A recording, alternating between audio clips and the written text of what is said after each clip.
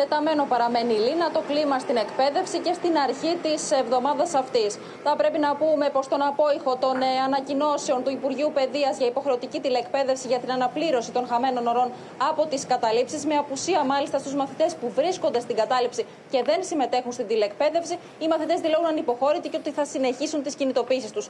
Έχουν ανανεώσει το ραντεβού τους για την Παρασκευή στις 12 έξω από το Υπουργείο Παιδείας προκειμένου να διαμαρτυρηθούν. Θα πρέπει όμως να αναφέρουμε πως ο αριθμός των σχολείων που βρίσκονται υποκατάληψη έχει μειωθεί ε, σημαντικά. Ε, αυτό οφείλεται και, στο γεγονό, και στην πίεση που ασκείται στους ε, μαθητές εξαιτίας του μέτρου του Υπουργείου Παιδείας για τις ε, απουσίες ε, στα υποκατάληψη σχολεία. Ωστόσο, σήμερα στα περισσότερα σχολεία οι μαθητές συνεδρίασαν. Δεν έλειψαν λοιπόν και τα σχολεία που ε, υπερψήφισαν να συνεχιστεί η κατάληψη και το λουκέτο επομένως ε, παραμένει. Οι ίδιοι μαθητές χαρακτηρίζουν την απόφαση του Υπουργείου Παιδείας αντιεκπαιδευτική και απειλητική προς τους ίδιους, ενώ μάλιστα και ε, αρκετοί εκπαιδευτικοί συμμετείχαν στις τρίωρες στάσεις εργασίας που έχει ανακοινώσει η ΟΛΜΕ, καθώς διαφωνεί με τις αποφάσεις του Υπουργείου Παιδείας. Ενώ έχει προγραμματιστεί συνάντηση με την Γενική Γραμματέα του Υπουργείου ε, την ε, Πέμπτη, προκειμένου να τεθούν επιτάπητος η, ένα, η επαναλειτουργία των σχολείων με ασφαλείς όρους.